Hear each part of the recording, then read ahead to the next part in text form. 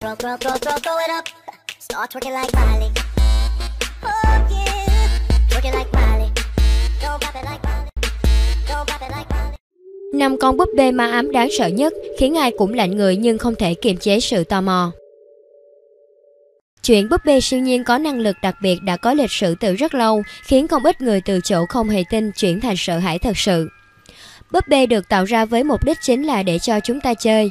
Tuy vậy, khá nhiều người bị sợ thứ đồ chơi có những đặc điểm chẳng khác mấy người thật, chỉ trừ đôi mắt vô hồn này. Đôi khi đó là nỗi sợ vô hình do tưởng tượng, do một sự cố ở tuổi thơ, nhưng cũng có những con búp bê khiến mọi người không thể không sợ thật sự, bởi chúng dường như có những năng lực đặc biệt. Chuyện búp bê siêu nhiên có năng lực đặc biệt đã có lịch sử từ rất lâu, có thể từ thời Ai Cập cổ đại với những con búp bê ma thuật giống Ramet ba được cho là do những kẻ thù của vị vua này tạo ra nhằm khiến ông phải chết. Cũng có những con búp bê ma thuật được tạo ra không nhằm mục đích xấu như vậy. Chẳng hạn búp bê ma thuật gọi là Colossus được người Hy Lạp cổ sử dụng để chống lại các linh hồn xấu. Và quyền năng của búp bê như thế vẫn còn tồn tại cho đến thời hiện đại với những câu chuyện rất ly kỳ. Búp bê Robert nhiều người làm quen với văn hóa Mỹ hẳn đã từng biết, thấy hoặc nghe nói đến hình ảnh ma búp bê Chucky. Lấy nguyên mẫu từ búp bê Robert hiện được giữ trong bảo tàng ở Key West, nhưng xa xưa vốn là búp bê yêu thích nhất của cậu bé Robert Eugenie Otto. Có người cho rằng đây là quà của cậu bé Otto, cũng có người khẳng định là quà của một người giúp Việt Nam Mỹ có mối quan hệ không tốt với gia đình. Theo lời kể lại, dù đặc biệt gắn bó và yêu thích, cậu bé Otto vẫn thường có những tai nạn xảy ra quanh nhà là do búp bê Robert gây ra. Từ chuyện đồ vật trong nhà biến mất, hỏng hóc, những món đồ yêu thích khác của Otto bị phá hoại, cho đến sức khỏe của chính Otto lẫn những người thân bị đe dọa, thậm chí là tử vong. Khi trưởng thành, Otto vẫn không rời con búp bê Robert mà theo giải thích của nhiều người là thật ra không thể rời bỏ.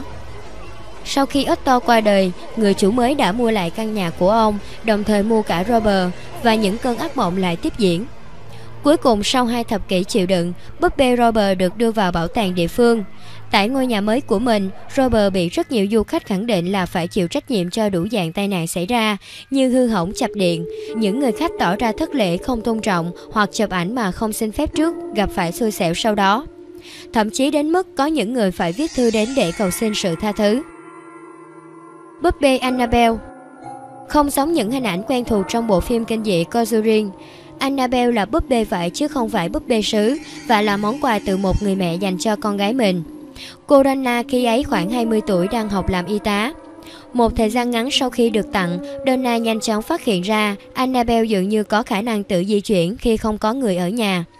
Và sau đó khoảng một tháng, Donna và bạn cùng phòng anh Ghi bắt đầu thấy thêm những mẫu giấy viết bút chì. Hãy cứu chúng tôi, hãy cứu Lâu. Lâu là một người bạn nam của hai cô gái. Cho đến khi những giọt máu bí ẩn xuất hiện, họ buộc phải tìm đến một nhà ngoại cảm. Thì được biết, Annabelle là linh hồn của cô bé bị sát hại tại nơi bây giờ là căn hộ mà hai cô gái đang sinh sống. Dana cảm thấy xúc động trước câu chuyện này nên quyết định vẫn giữ lại Annabelle. Và đây là tin không hề vui với Lâu. Anh này liên tục bị búp bê cố gắng siết cổ, cả trong mơ lẫn hiện thực, bị những vết cào sâu trên ngực Cuối cùng quá mệt mỏi và sợ hãi, Donna quyết định nhờ sự giúp đỡ từ linh mục và từ sự giới thiệu của ông tìm đến vợ chồng nhà Warren. Sau vài nghi thức trừ tà, vợ chồng Warren đem búp bê về nhà mình. Tại đây tiếp diễn chuyện tự di chuyển và đe dọa đến mức cuối cùng họ phải nhốt Annabelle vào một chiếc hộp đặc biệt có gắn thánh giá và cảnh báo, tuyệt đối không mở. Búp bê Herod Đây được cho là búp bê đầu tiên và nổi tiếng nhất trong số các búp bê eBay bị ám. Hay nói cách khác là búp bê được bán trực tuyến, với mô tả sản phẩm là những linh hồn được cho là đang trú ngụ trong đó, cũng như những năng lực đặc biệt. Búp bê Harrod được cho là một trong những búp bê bị ám có nhiều sức mạnh nhất thế giới, vốn là sở hữu của một cậu bé và không lâu sau khi cậu bé qua đời, gia đình khẳng định nhìn thấy búp bê Harrod di chuyển, cười và hát. Dù đã liên hệ với linh mục, nhưng dường như các giải pháp trừ tà không hiệu quả, búp bê bị đốt nhưng không hề cháy xém. Gia đình này quyết định đem ra chợ trời để bán và bắt đầu những sóng gió bạo lực, thậm chí cả những cái chết cho những chủ sở hữu về sau. Mặc dù vậy, cũng có những người cho rằng câu chuyện này chỉ được theo dệt nên nhằm đẩy giá bán mà thôi. Búp bê Mandy Búp bê này hiện được giữ tại bảo tàng Westnet British Columbia, điểm dừng chân sau khi những người chủ trước không thể tiếp tục chịu đựng được Mandy. Dường như khi còn ở với họ, Mandy thường xuyên gây ra những tiếng khóc trẻ con kỳ lạ. Và sau khi vào bảo tàng, các nhân viên ở đây đổ lỗi đủ mọi thứ, từ bữa trưa biến mất, bút viết thất lạc, sách báo hư hỏng và cả cảm giác bị theo dõi cho nhân vật đặc biệt này. Tất nhiên cũng như những búp bê khác bị ám, Mandy cũng được cho là có thể di chuyển và làm nhiễu loạn điện. Búp bê Becky Truyền thuyết về Becky, theo chủ sở hữu nhà nghiên cứu các hiện tượng siêu nhiên Jenny Harris là có thể gây nôn nao, đau đầu, thậm chí đau tim, ảo giác, cũng như vấn đề tâm thần cho những ai xem những đoạn clip hoặc thậm chí chỉ nhìn hình ảnh của búp bê này. Một số nhà nghiên cứu khẳng định Becky mang linh hồn của một phụ nữ Do Thái trong thảm sát Holocaust. Dòng cảnh báo dành cho nhiều người tò mò. Búp bê Becky sẽ sớm xuất hiện. Bạn cần hiểu về những nguy cơ trước khi tiếp tục xem. Rợn tóc gáy với hòn đảo búp bê ma bí ẩn nhất thế giới. Hàng ngàn con búp bê bị đóng đinh treo lủng lẳng trên cây và câu chuyện về lời đồn đại ma quỷ trên hòn đảo Isla de las Muñecas, Mexico đã trở thành điểm thu hút du khách khắp nơi trên thế giới. Hòn đảo Isla de las Muñecas nằm ở phía nam thành phố Mexico, được biết đến là một trong những khu du lịch bí ẩn và kỳ lạ, với hàng ngàn con búp bê treo lủng lẳng trên các cành cây. Nỗi sợ hãi dường như là điểm thu hút đặc biệt đối với những du khách muốn chiêm ngưỡng bộ sưu tập búp bê ma quái lớn nhất tại hòn đảo này. Là một trong những người yêu thích du lịch mạo hiểm, một nhiếp ảnh gia 24 tuổi đã có chuyến phiêu lưu đến với Isla de las Muñecas để ghi lại những hình ảnh độc lạ và tìm hiểu truyền thuyết bí ẩn nơi đây.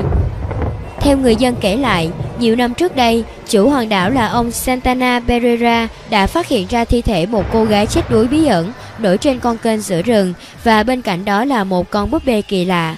Ông cho rằng linh hồn của cô gái đã trú ẩn bên trong con búp bê đó nên đã treo nó lên cành cây như một sự tôn trọng và tiếc thương cô gái nhỏ. Tuy nhiên sau đó, ông thường xuyên nghe thấy những tiếng thì thầm ai oán vọng đến mỗi đêm và cho rằng mình đã bị linh hồn cô gái trẻ ám. Quá hoảng sợ, Pereira thu thập tất cả những con búp bê khắp trên đảo cùng treo chúng lại một chỗ để xoa dịu những linh hồn lang bạc. Sau gần 50 năm, hơn 2.000 con búp bê đã được treo lên hòn đảo này, một số trên cây, một số trên các bức tường bao quanh. Người ta cũng kể rằng, từ đó không ai còn gặp Pereira nữa, ông sống cô lập sâu trong rừng, tránh xa thế giới loài người. Năm 2001, xác của Pereira đã được tìm thấy ở con kênh năm xưa tìm thấy thi thể của cô gái nhỏ và câu chuyện bí ẩn của hòn đảo này ngay lập tức thu hút du khách khắp nơi, trở thành điểm du lịch đầy ám ảnh.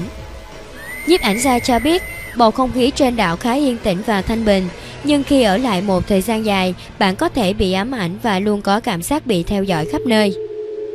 Ông cũng cho rằng lý do mà du khách đến với hòn đảo không chỉ vì muốn trải nghiệm, mà còn muốn tìm hiểu bí ẩn về câu chuyện kia. Nhiều người đã gặp ác mộng khi đến với nơi này. Đây là trải nghiệm thú vị của tôi để hiểu thêm về lịch sử của thành phố này.